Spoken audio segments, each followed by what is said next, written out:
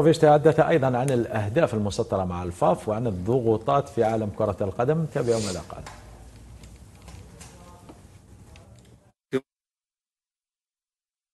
سنعمل على تطوير المنتخب الوطني من يوم لآخر والعمل خطوة بخطوة هدفنا تحقيق نتائج أفضل من السابق وبلوغ مونديال 2026 مستحيل أن نسطر أهدافا على المدى القصير. الأهم هو تصدير قوانين جديدة في المجموعة دون استثناء.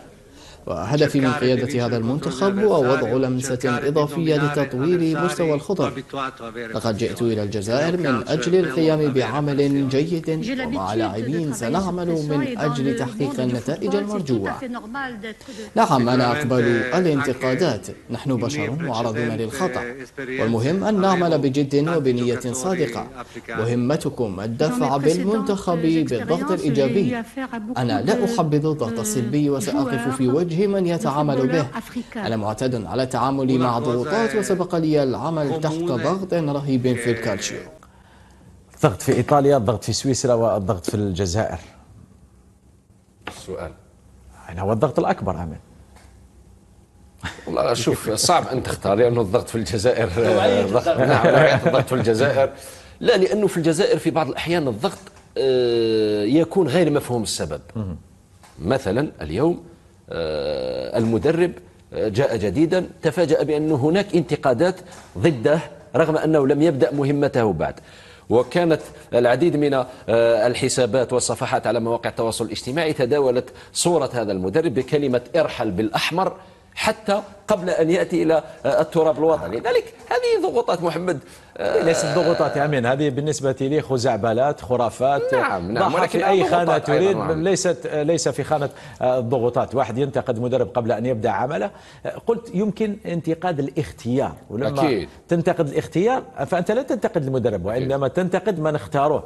ربما انتقادات لوليد صادي لماذا اخترت بيتكوفيتش؟ هذه يمكن تقبلها تختلف معها أو تتفق معها يمكن تقبلها. تنتقد اختيار الفاف لهذا المدرب. لكن يعني من الجنون أن تنتقد مدرب قبل أن يشرع في العمل. شوف الضغط الأكبر في نادي لاتسيو محمد لأنه في أكبر إيطاليا من الجزائر. أكبر من الجزائر. في إيطاليا محمد المافيا تضغط على على المدرب وعلى اللاعبين. وتتدخل كثيرا في آه، الفريق.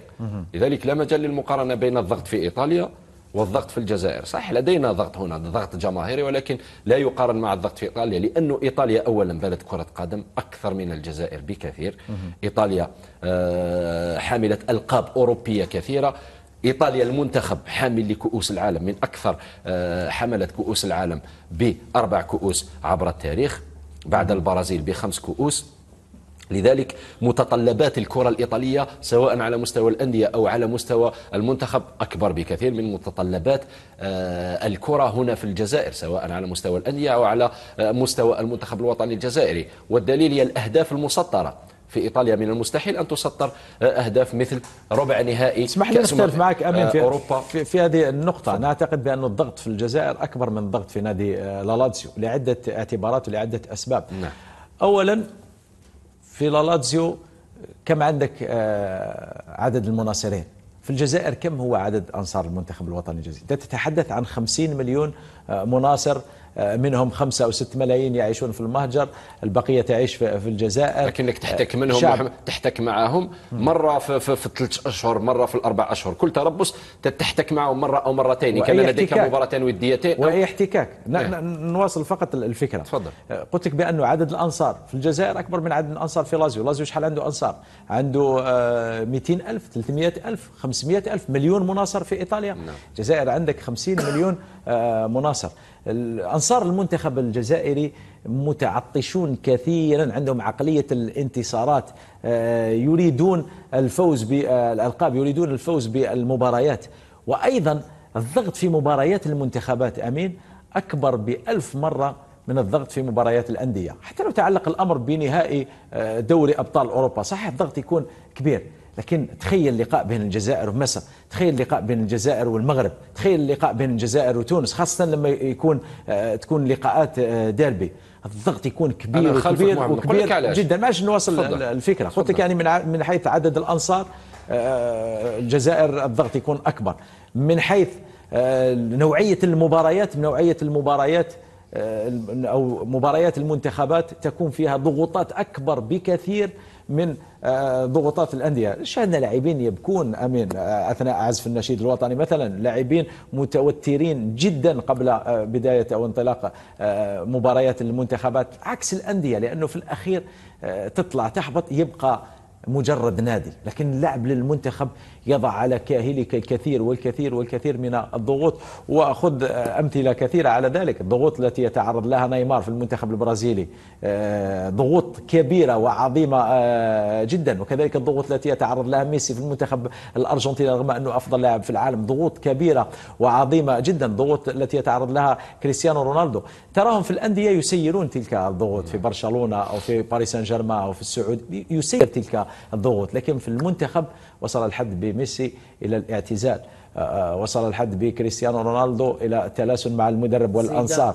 آه، زيدان تعرف جيدا ماذا وقع له. إذا أعتقد بأن الضغط الذي يتحدث عنه بيتكوفيتش في لاتزيو لا يشبه تماما الضغط الذي سيعيشه مع المنتخب الوطني الجزائري. نزيد لك. حتى تدريب المنتخب السويسري وتدريب المنتخب الجزائري الشعب السويسري ومتابعته وشغفه بكرة القدم لا أعتقد أنه يرقى لشغف الشعب الجزائري ومتابعته لكرة القدم. لذلك بيبقى رأيي الشخصي وأنا أحترم رأيك أمين. آه، بيتكوفيتش ربما آه، لا يدري عن الضغوطات الموجودة في إفريقيا ولا عن الضغوطات الموجودة آه، في الجزائر. لا أنا مش ضغوطات محمد. أنا شاهدت منتخبا يخسر أمام موريتانيا نعم. يفشل في حصد نقطة واحدة فقط أمام موريتانيا. يفشل في التأهل مع أحسن الثوالث إلى الدور الثاني من كأس أمم إفريقيا للمرة الثانية على التوالي ويفشل في التأهل لكأس العالم. يفشل ثلاث مرات في آه، منافسات كبرى وشريحة كبرى من الجماهير تطالب ببقاء الناخب الوطني. أين هي الضغوطات محمد؟ لم أشاهد ضغوطات أنا جماهيرية. هذا يبقى رأيي محمد. نعم. لكن في الأخير أمين هذا هذا الضغط اللي رانا نتكلموا عليه الكبير هو من أزاح النخب الوطني وجعل يعني الفيدرالية تفكر في هذا بيتكوفيتش ومدربين آخرين للأسامي تاعهم تداولوا يعني الكلام تاع محمد وين نزيد نأكده له أن الضغط في المنتخب أكثر من النادي لأن النادي كل سمانة عندك مباراة. تقدر تغير منحنى يعني الضغط تاعك تقدر تغير منحنى المشكل تاعك. لو خسرت في هذه المباراة تروح يعني المباراه القادمة يعني خارج الديار تفوز بها تعاود تولي تنقص من الضغط. لكن لكن لكن تعاود يزيد الضغط. يزيد الضغط بطبيعة الحال. لكن في المنتخب في المنتخب ما عندكش مباريات للتعويض. عندك عندك كما تكلمت انت عندك مباريات ودية هما ديدات فيفا وعندك مباريات كي نتكلموا عليهم مباراه فواصل هما. يعني تلعب في ميدانك تلعب خارج ميدانك. يعني مباريات مباشرة. وهنا راح يزيد الضغط بطبيعة الحال. وعندك الضغط تاع أن اللاعبين هذو ما عندهمش الانسجام وما عندهمش الاحتكاك اليومي. لأن الناخب الوطني هنا راهو يعني مربوط بالتواريخ الفيفا. تواريخ الفيفا عندك أربعة أيام خمسة أيام. الآن باش تعاود ترجع انسجام تاع آه، عدد كبير من اللاعبين الآن المنتخب الوطني اللاعبين كلهم متعارفين. هذا شيء جد مهم بالنسبة لهذا الناخب. راح يلقى اللحمة راح يلقى لاعبين صح من الناحية الذهنية. راهم متأثرين من الإخفاقات اللي كانوا في المنتخب الوطني مع الناخب الوطني السابق. هذو أشياء يعني راح يتجاوزهم هذا الناخب لكن نعم. هناك عدة أشياء لمحمد أنا نوافق نوافق أن الضغط في المنتخب الوطني أكثر من النادي